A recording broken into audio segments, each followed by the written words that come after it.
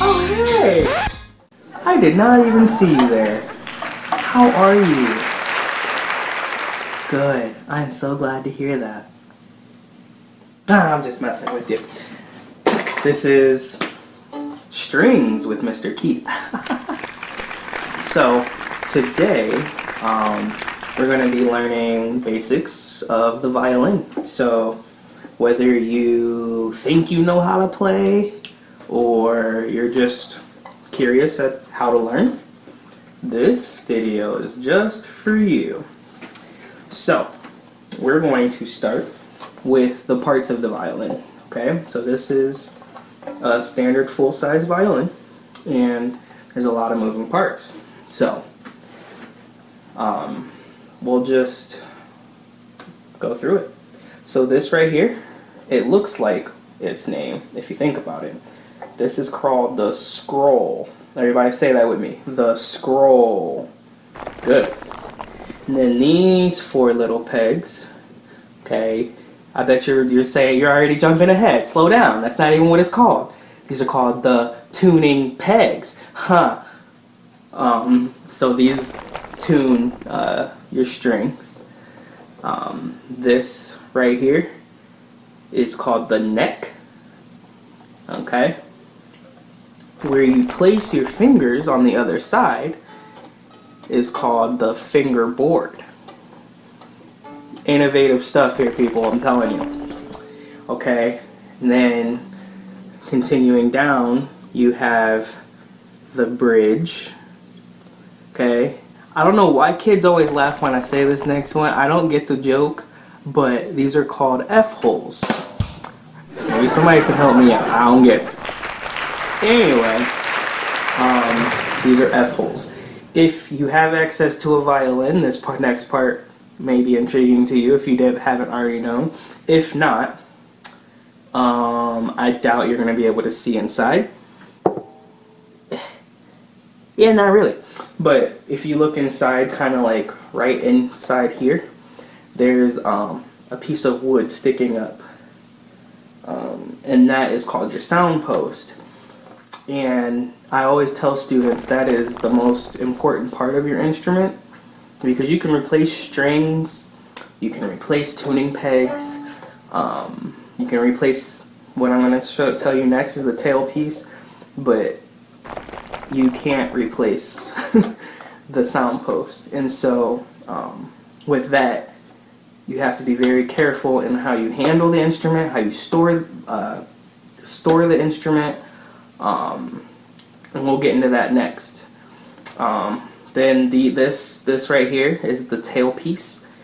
Right here, these four things, I will give you a virtual high five if you can tell me what these four things are. No advanced students, and go.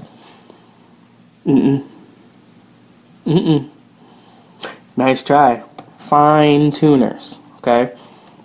They're not the circly things, they're called fine tuners. Say it with me. Fine tuners, okay? And the difference between fine tuners and tuning pegs is if I wanted to say my A, which sounds like this, was out, okay? And it sounded like this instead. Nothing. Ah!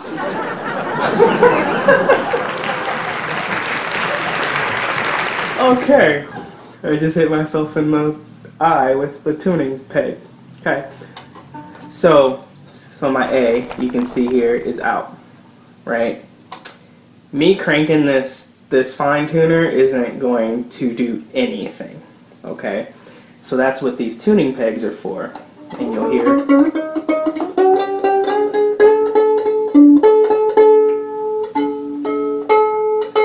Okay, and then I can hear that my A is a little flat, so to raise it, um, raise it up just a little bit, you know, maybe a half a step, that's where the fine tuners come in, okay? This right here, everyone knows what it's called. It's the chin rest. Yes, good job. Give yourself a pat on the back. Alright, this here is called the tail, or I'm sorry, the cute little button. This is the button, okay? And then what I have on the back here is called a shoulder rest. Um, with it, I can keep my violin up like this. Um, I recommend investing in one. They're um, they range in price, but to me they're a good investment, especially if you're just learning. Um, without it, I mean, it's it, it's you know, this is what happens. You can't keep it. It's a little lazy without it. So, um, and it creates a lot more work for you. So, I I would recommend buying a shoulder rest because boom, and then it helps with when you get into shifting and you know all that good stuff. So, um, that one doesn't matter. So again, review the scroll, the tuning pegs, the neck, fingerboard, the bridge, the F holes. The most vital, the most vital part is inside the F holes called the sound post. Good job. The tailpiece the fine tuners, the fine tuners, the chin rest, and the cute little button, and the shoulder rest. Okay? Cool. So now we're going to get into these beautiful things called the strings. Let me make sure I'm in tune.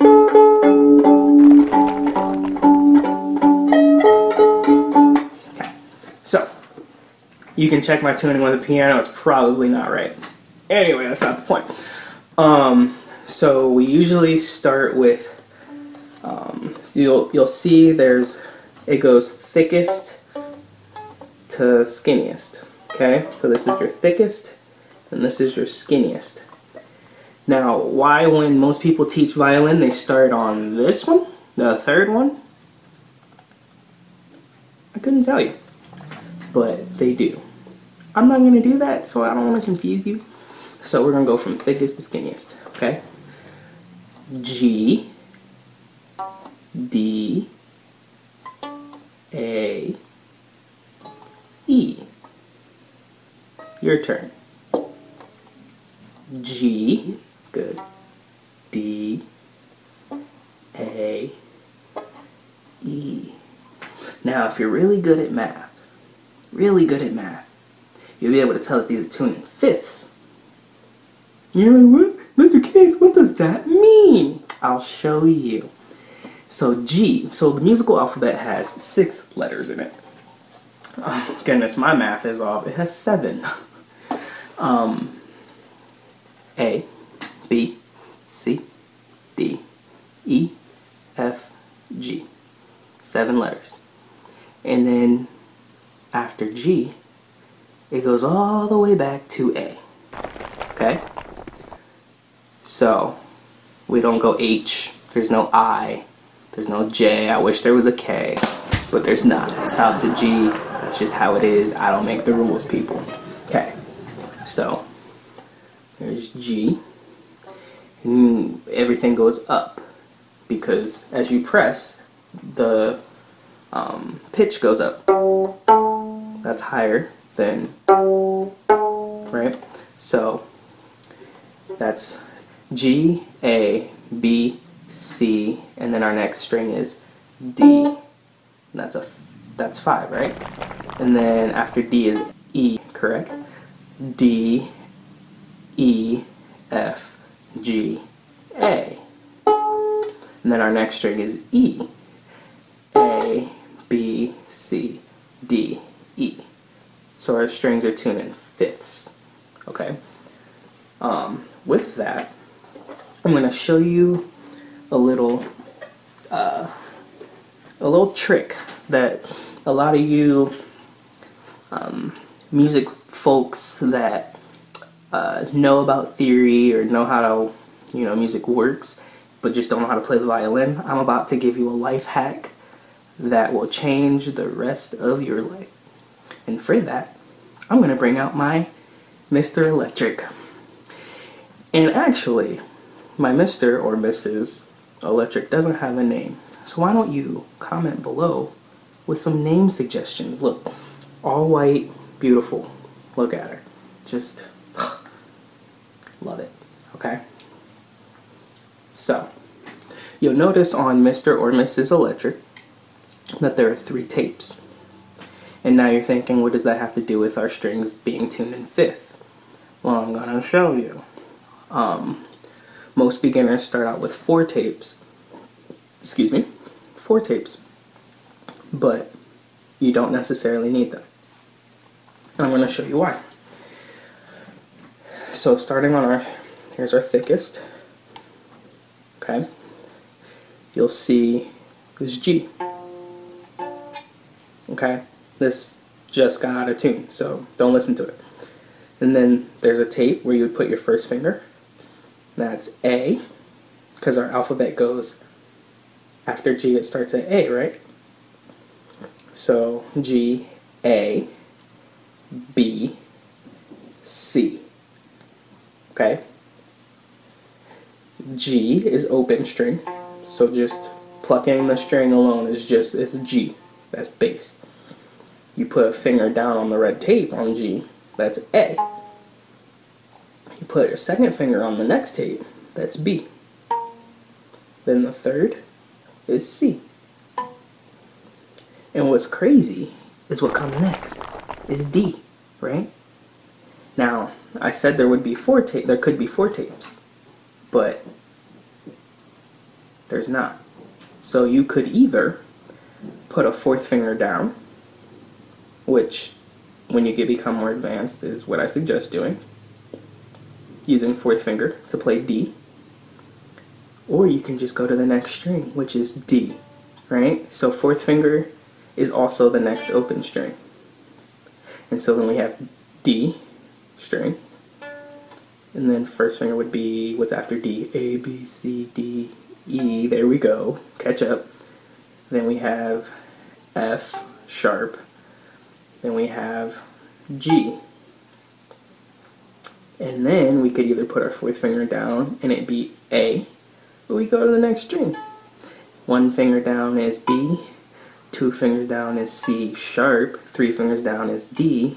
The next would be fourth finger or open, which is E. And then F, G sharp. F sharp, G sharp, A. Um, and that that's life hat. So each tape represents something. If you want to get tapes put on, um, I would suggest, um, if you know how to use a keyboard, I would suggest doing it that way. Try to find where it is with each, now that you know where, um, if you want to look at this video and pause it right here, you can kind of just see where they go. Give you a second. Cool. Um, and then, so that is our first class. Can you believe it's basically been 15 minutes already? Me either.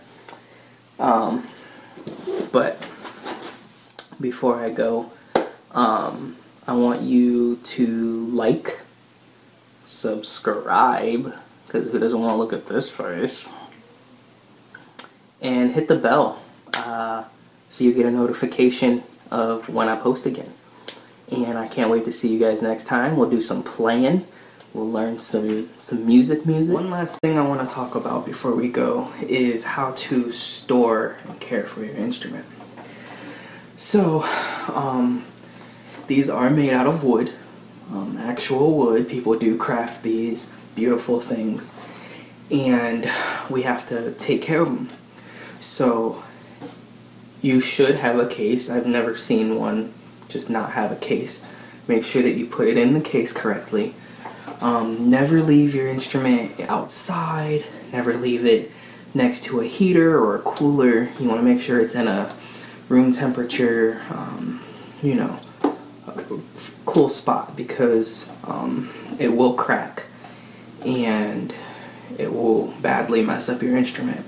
And your sound post could fall. Remember, inside the F holes. I still don't get it. But um, make sure that we're keeping our instruments safe, uh, clean. If you have a rag, you can, all, not a rag, there's a cloth um, that a lot of them come with, instruments come with. clean your strings, clean under your tailpiece, um, under your bridge, you know, where rosin gets um, stuck, and you know, just make sure you're not tossing, playing catch with your instrument, you know, or uh, don't do that. Sorry. Anyway, and yeah, so have a great day, guys. Peace.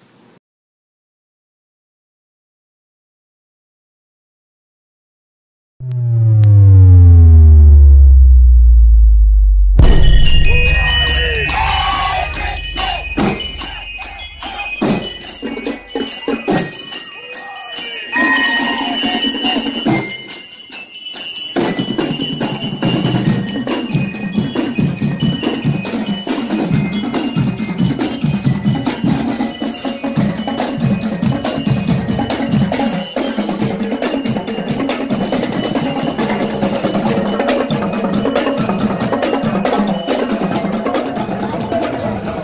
pray for my family, communications team, we all have the same responsibility.